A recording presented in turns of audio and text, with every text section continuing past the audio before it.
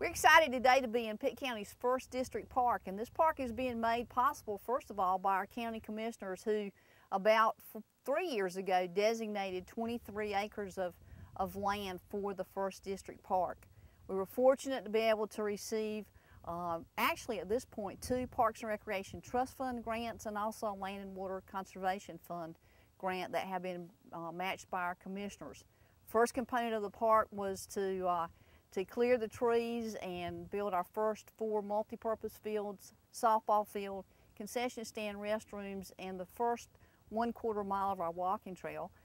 Following that first grant, we were able to receive a second grant that's enabled us to, to add a playground, bocce courts, horseshoe courts, and extend um, our walking trail.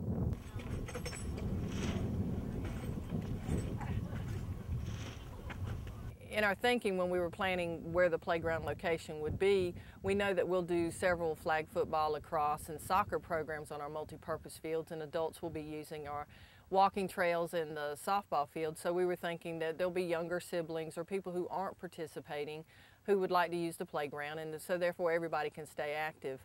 We have um, the walking trail, which, which is looped so that parents could actually let their children play on the playground while they're walking on the trail. And of, of course, we would invite children to walk on the trail also. We're excited to, to have our first playground and we decided to do what we call a community build for this playground and that involves having volunteers come in and actually build the playground. So the playground that we have here came in uh, on a transfer truck in 150 some different pieces, um, large pieces, and we actually had 60 plus volunteers come in over a two, year, two day period of time to build the playground. It was a terrific uh, team effort. Um, we had the donation of equipment from the community and, and really volunteers across the age groups from high school students and East Carolina University students to our senior games participants that came out and helped us. And um, it, really did create a lot of community pride and community spirit, which is what this district park is all about. It's, it, this park belongs to the citizens of our community, and we want people to feel ownership and feel that they are a part of this park, which, which they are. So the community build was a, a was a great um, opportunity to, to start that kind of ownership and, and that building of of uh, team spirit and team pride uh, in our playground.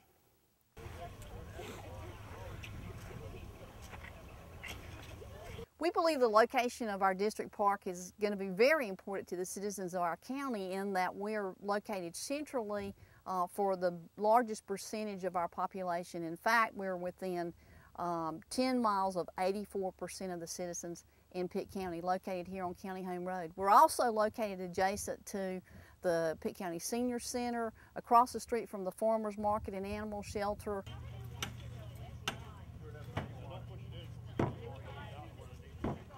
We were able to save over $20,000 through doing the community build on the playground. So we'll be able to take those dollars and put them back into more facilities and equipment here for our, our Pitt County District Park. So that's also very important.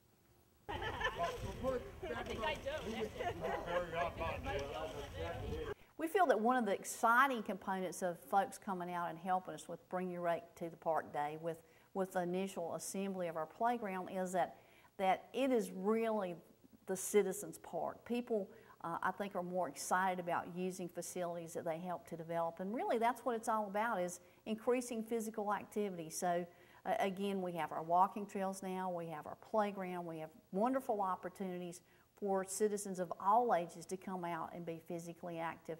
We also have a number of opportunities in our park for groups, organizations, and individuals to help us add to our district park. We've got uh, on our plans to picnic shelters, we want outdoor basketball courts, uh, we need benches at several locations along our walking trails. Those are all opportunities for individuals or groups, or organizations within our community to contribute to their district park.